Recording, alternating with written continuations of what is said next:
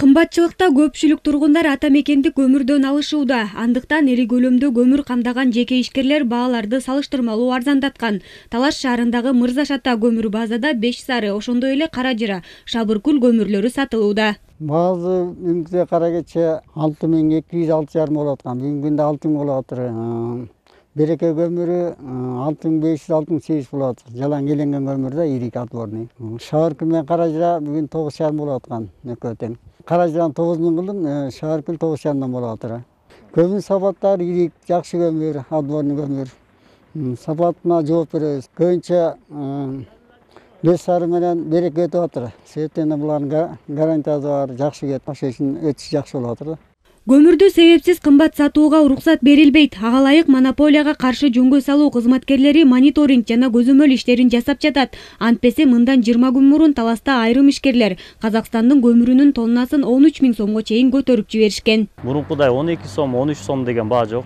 Азыр байкасаңыздар түшүндүрүү иштери жүргүзүлдү. Э, бир нече ишкерлерге айыппулдар салынды. Жалпы жонунан бүгүнкү күндө кыргыз республикасынын бузуулар жөнүндө кодексинин тийиштүү беренелеринин негизинде беш ишкерге именно беш ишкерге алардын көбү эле могу казакстандан импорттук сатып аткан ишкерлерге салынып атат да. Баалар боюнча именно баазын калмаганы үчүн айыппул салынды жеке жак катары ишкерлерге бүгүнкү күндө элге жеңилдик катары бакытбек нарбековдун демилгеси менен таласта кара кече көмүрүн арзан саткан пункттар уюштурулган. Элдин көмүргө болгон муктаждыгын чечүүгө облус бийлиги ишкерлер жана альянс алтын компаниясы жардам берүүдө. Бирдиктүү иштин натыйжасында талаш шаарына жана башка райондорго беш сары карьеринен кара кече көмүрү ташылып келип тоннасы беш миң эки жүз беш миң үч жүз сомго чейин сатылууда белгилеп коюш керек. Э, кара кечеден э, бизге чейин үч километр бир тарабы.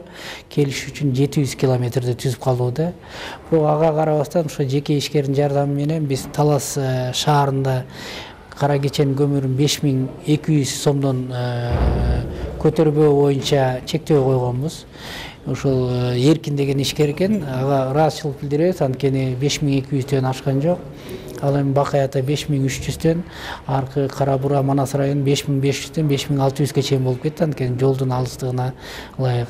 Кара кечеден ташыла турган көмүрлөр токтобойт ушу кыш сезону өтүп кеткенге чейин кудай буюрса биз толугу менен жанагынакей төмөндөтүлгөн баага кудай буюрса азыр алып келип жөндөгөнгө мүмкүнчүлүк жаралды.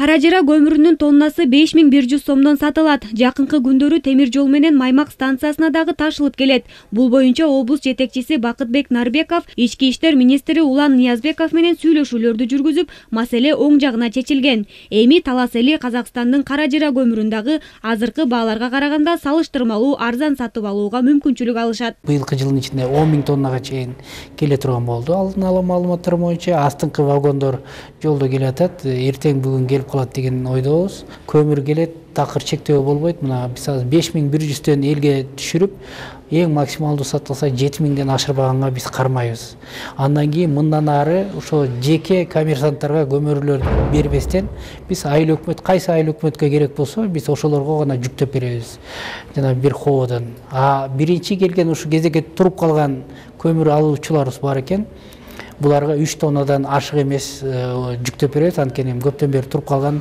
көмүр күтүп калган ошо алуучуларыбыз бар экен кудай буюрса талаш жергеси быйыл деле кыштан аман эсен чыгабыз кыштан чыгуу үчүн талас облусуна элүү сегиз миңдей тонна көмүр керектелет. Анын жети миң тоннасы бюджеттик мекемелерди жылытууга кетет. Жана бул тармак көмүр менен жүз пайыз камсыздалган. Бүгүнкү күндө жалпы элдин керектөөсү алтымыш пайызга камсыздалды. Жергиликтүү бийлик көмүрдү арзан баада сатуу аракеттери кыш бүткүчө уланаарын билдирет.